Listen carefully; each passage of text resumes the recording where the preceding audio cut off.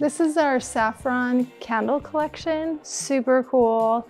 We're really excited about it. It adds that little bit of amber sepia tone to each space and it looks super cool with a candle in it. They're very floaty, very sculptural. Um, in fact, if you want, you can even, this one looks really good just as a sculpture on top of a book.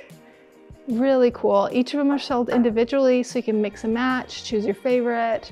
They look great on a dining table. We're using them here on a center hall table, side table, coffee table, mantles.